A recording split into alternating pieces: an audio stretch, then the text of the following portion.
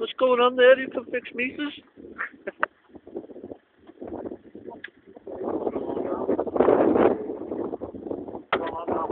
I mean, he's fixing this here. Big job.